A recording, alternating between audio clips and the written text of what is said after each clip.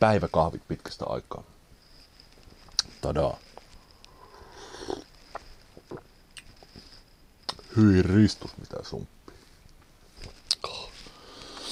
Kahvit oli loppu joutu. Joutui kopistelemaan kaikki pöytä, nuo pussin pohjatkin, että sai edes kupillisen.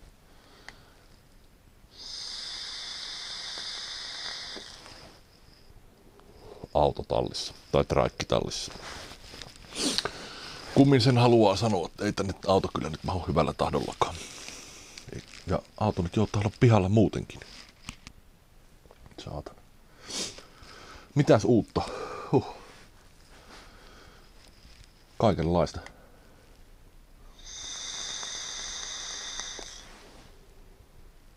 Tänään olisi vielä tarkoitus se Vaporesso nyt viimein saada nippuun. Minä otan sen Vaporessa nyt ennen niitä Vapor Flaskia. Minä haluan käyttää niitä vielä vähän aikaa ennen kuin minä rupean niistä puhumaan mitään. Sitten siellä on, mitä siellä on? Hammer of God 2 ja Templen Dripper ja UD Bellus ja oliko siellä vielä jotain muuta odottamassa? Siinäpä ne taitaa olla, mitä tällä hetkellä roikkuu jonossa.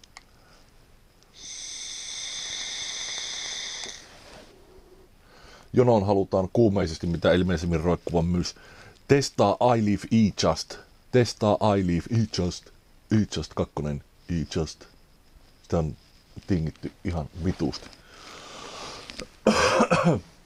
Mutta tota, no katsotaan, jos joku, joku sen haluaa lähettää testiin. Minä tuskin sitä omalla rahalla ostan. Se ei ole, ei ole minua kiinnostava laite siinä mielessä.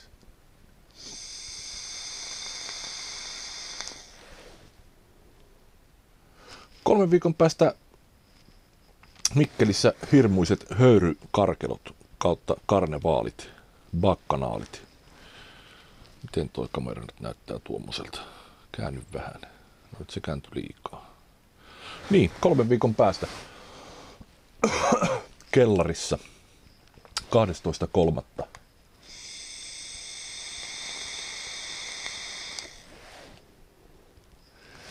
Vapers Meet and Greet kautta Mikkelin vapottajat järjestää hirmuiset karkelot. Sinne kannattaa hilautua paikalle.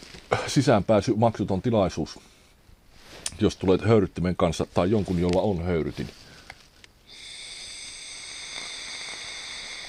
Linkkiä löytyy tuosta alapuolelta. Ainakin viimeksi oli ihan helvetin hyvät bileet. Nenä oli kipeänä pitkän aikaa sen jälkeen. Ei sillä, että olisi tullut turpaan, vaan sukelsin uima-altaan pohja. Tänä vuonna en sukellu. En mene koko vitun altaaseen.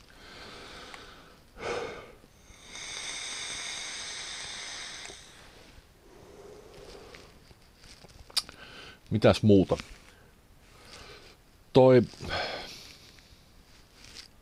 toi, toi. Se taannoinen Vismek Noisy Cricket revikka poiki jonkun verran kommentteja. Ynnä, tästä nyt on muutenkin puhuttu viimeaikoisten akkumössähdysten takia. Se hybridiliitin. Yleensä sanotaan heti, että ei tankkeja hybridiliittimeen. Minä sanon siihen, että kilin vitut kun ja jos hybridiliitintä käytetään, ainut ja nimenomaan ihan täsmälleen ainut asia, millä siinä on merkitystä, on plus nastan esiin tuleminen tuolta liittimestä. Sillä ei ole hevon vitun merkitystä, onko se tankki vai dripperi vai perkele kartomisaattori. Jos se plusnasta ei tule riittävästi esiin, niin silloin se mossahtaa näpeille. Riippumatta siitä, onko se tankki vai dripperi vai sastavan kardaani. Ainut, millä siinä on merkitystä, on se plusnasta ulkonevuus.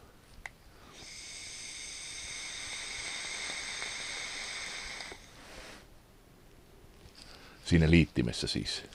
Sen jälkeen voidaan sitten ruveta puhumaan siitä, että onko setup turvallinen.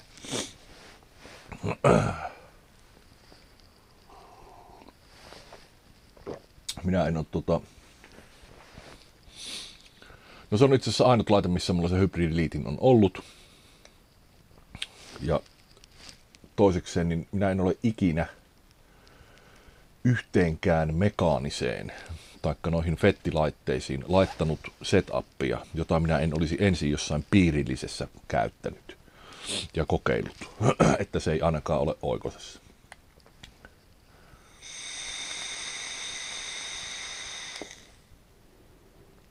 Se tuleva Hammer of God nimittäin on mekaaninen myöskin.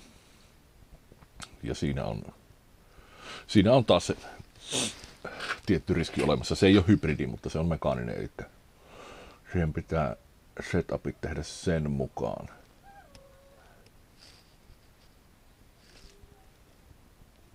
Mitähän tuolla tapahtuu? Paha mennä vanno.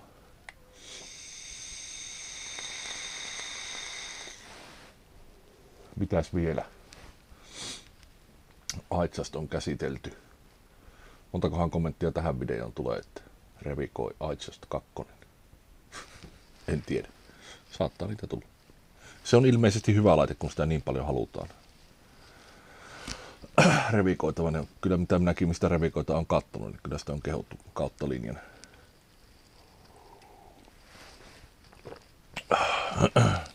Siinä on taas se, no, se taas liippaa taas läheltä toista asiaa, josta nyt mainitsen ohi että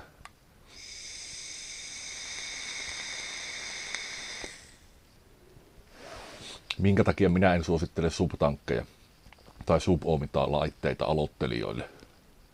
No siinä on jo ihan puhtaasti se turvallisuusnäkökohta ensimmäinen, mutta sitten se käyttötapa. En minä ainakaan niin mulle tullut mieleenkään, ei sillä, että laitteistotkaan siihen aikaan olisi sitä antanut myöten, kun suoritin siirtymää tupakasta höyryttelyyn, että sitä vedetään suoraan keuhkoon. en minä tupakkaakaan vetänyt suoraan keuhkoon vaan mouth dulang tyylisesti. Ja sillä tyylillä suboomi-laitteet eivät anna kuin lehmän henkäyksen, jolla ei varmasti pääse eroon yhtään mistään. Se siirtymä lähtee tupakasta suoraan keuhkoon vetämiseen voi olla liikaa joillekin. Minulle se oli ainakin, olisi ollut ainakin.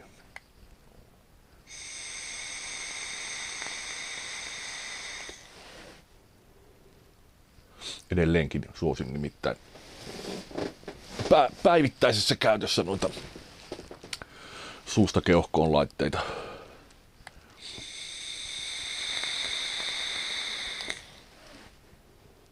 Sen takia minä en suosittele niitä aloittelijoille. Ja sen takia minä vituttaa aina suunnattomasti, kun kaikissa ryhmissä joku aloittelija kysyy, että mikä laite kannattaisi ottaa. Ota suboksi tai joku joku muu saatananmoinen hätsäpoode. Kilin vitut. Ota, ota nautilus. Ja siihen joku, no se vitun 40 wattinen aistikki. Siinä on lämpörajoituskin, jos siihen haluaa siirtyä. Ja 40 wattia riittää drippailuunkin ihan helvetin hyvin.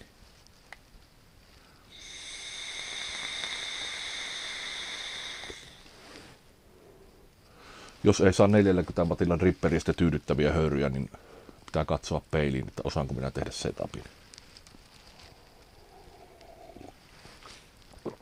Ei sillä jotkut setupit vaatii kyllä vitusti tehoa, mutta kyllä se 40, 40 watillakin onnistuu.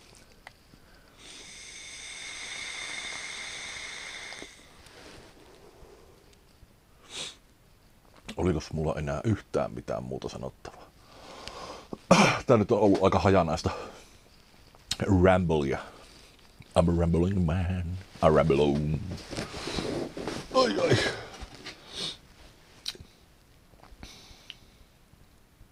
Ei kai tässä nyt muuta taas lauantain kunniaksi. Mä yritän nyt tänään saada revittyä sen Vaporesson narulle ja sitä myötä eetteriin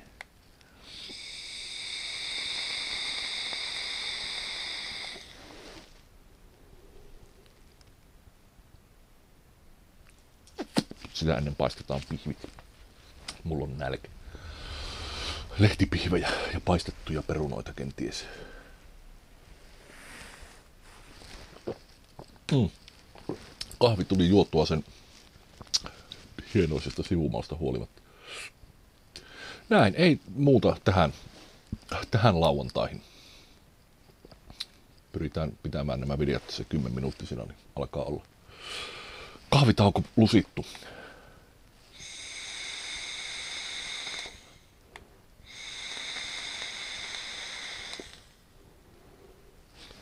Tulkaa Mikkeliin, linkkiä alalla. Semmoista lauantai. Hötövöts.